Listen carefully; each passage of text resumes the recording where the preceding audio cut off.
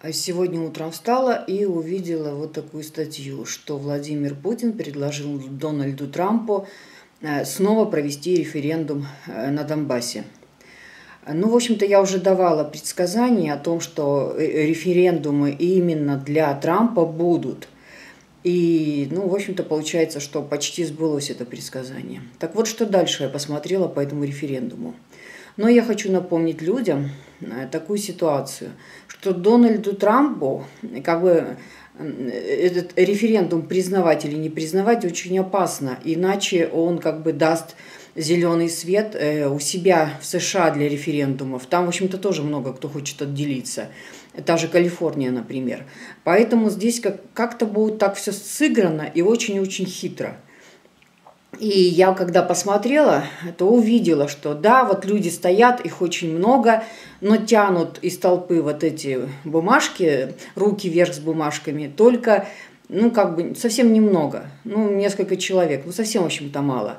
А остальная светлые, светлые, как бы люди, очень много светлых людей, и они молча стоят и смотрят. Потом они, в общем-то, как бы расходятся.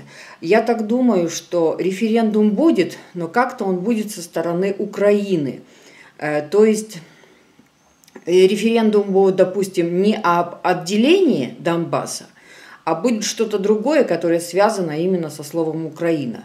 Ну, например, э, о присоединении к Украине. Ну вот что-то типа вот этого.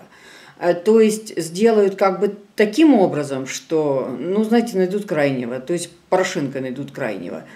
То есть, чтобы, в общем-то, как бы все свалить на Порошенко. Ну, в общем-то, то, что то, что Путин встретился с Трампом, конечно же, они там вели не праздные разговоры, и это очень сильно ударит по Порошенко, очень сильно. Я уже давала предсказания э, и говорила, что я слышала, как вот говорил Яков Кедми, э, что, о том, что после, после э, Кубка ФИФА что-то, в общем-то, закрутится в отношении Украины.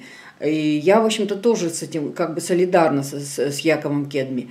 Оно, в общем-то, и закрутилось. То есть сразу же, э, очень быстро, считайте, на, считайте, на следующий же день э, после финала Кубка ФИФА э, Путин встретился с Трампом, и тут, в общем-то, сейчас все закрутится.